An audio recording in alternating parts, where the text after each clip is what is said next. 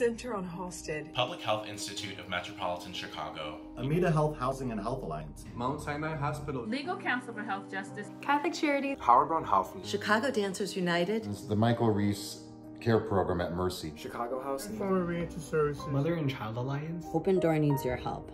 The same communities disproportionately impacted by HIV are now also forced to contend with COVID 19. Our clients, communities, patrons, and families have faced food insecurity, job losses, isolation, and the enduring trauma of systemic racial injustice and violence. We've been forced to fight a pandemic, an epidemic, and racism at the same time. But we are prepared for this moment.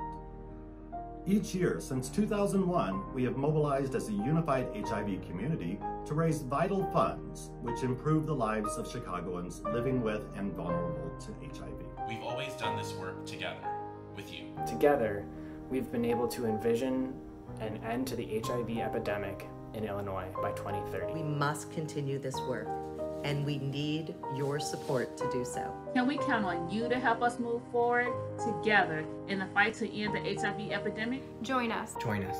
Join us. Register and fundraise for AIDS Run and Walk Chicago. Register and fundraise for the AIDS Run and Walk Chicago. Register and fundraise for AIDS Run and Walk Chicago. Join us. Register today and fundraise for AIDS Run and